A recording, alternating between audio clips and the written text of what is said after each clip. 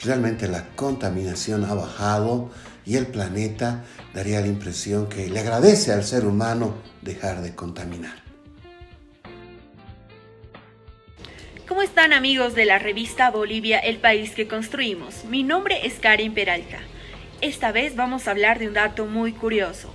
Debido a la ausencia de los seres humanos en las calles, muchos animales se han atrevido a reaparecer.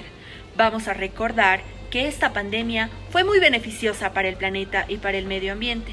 Debido a esto, muchos países se encuentran en una cuarentena total. Eso quiere decir que las calles se encuentran completamente desiertas de seres humanos. Pero muchos animales se han atrevido a recorrer cada una de estas calles. Vamos a verlo.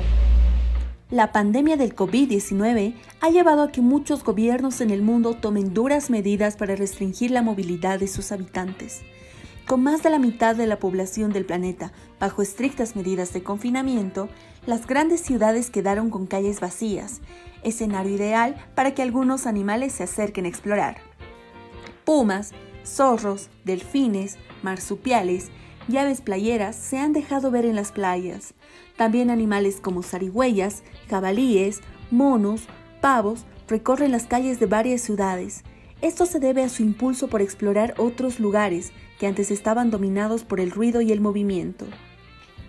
Los biólogos aseguran que esta fauna siempre ha vivido muy cerca de zonas urbanas, pero ante la ausencia de humanos se animan a explorar nuevas áreas.